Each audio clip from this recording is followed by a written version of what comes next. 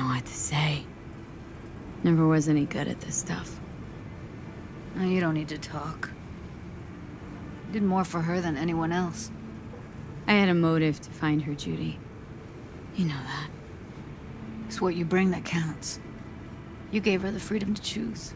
Yeah, maybe. Just never imagined she'd choose this.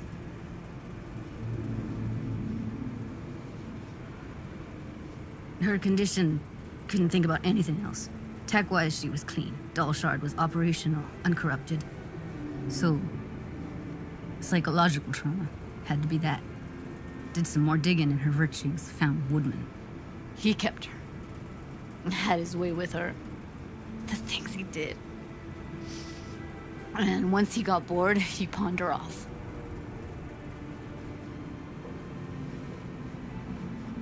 Wait, so you found other recordings? Had another look at the corrupted ones. You know, lots of static. Hard to pick up anything, really. At some point, I stumbled on something like an echo of the spat we'd had. Last time we saw each other. But I know she wasn't scrolling. Why was it saved as a virtue? Got no explanation for it. Maybe she recalled it later, relived it, almost. Implant could have been on when... You know, as a defense mechanism, escaping into the past so as not to live in the present. What did Woodman do to her? Did you see it? Yeah. I really wish I could unsee it.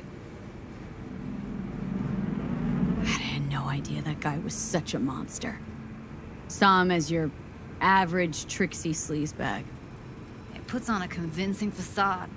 I knew him, but I never thought him that sick in the brain.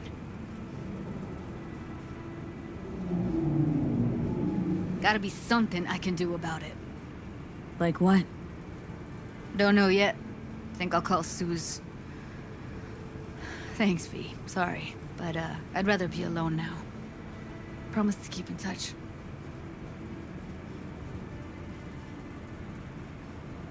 Sure you don't need anything? No, but sweet of you to ask. Anything comes up, holler on the holo.